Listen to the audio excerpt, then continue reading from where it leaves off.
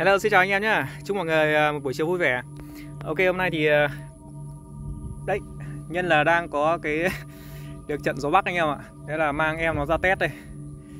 Cũng khá là nặng. Ui, cầm một tay bỏ tay quá.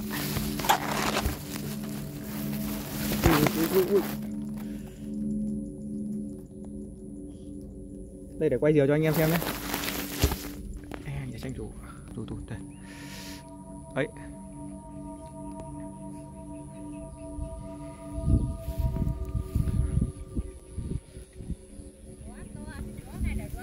Ui, gió bắc quá, gió đông, gió đông.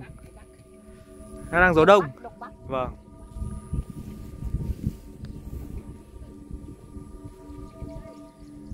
Đây anh em nhé, diều đây. Ok chưa? Các bạn là cái con đuôi nó hơi nhỏ. Con đuôi hơi nhỏ nên là mình phải bắn thêm cho nó cái bẹn nữa. Bắn thêm cho cái bẹn nữa. Đó là bồng bềnh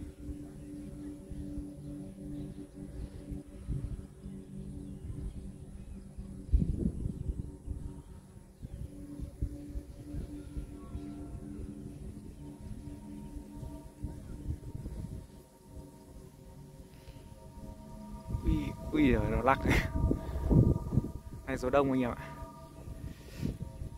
Lắc ghê không? Bây giờ bây giờ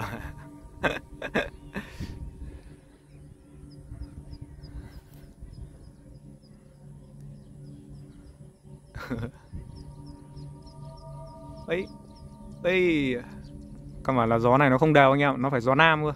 Được gió nam nó mới đẹp. Gió này thì uh, uh, linh tinh lắm lên ngon phết đấy anh em ạ. Đấy,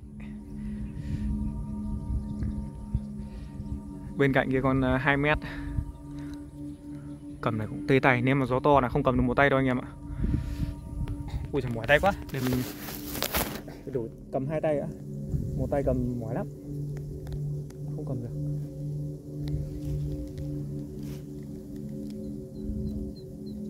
Kéo lên đi!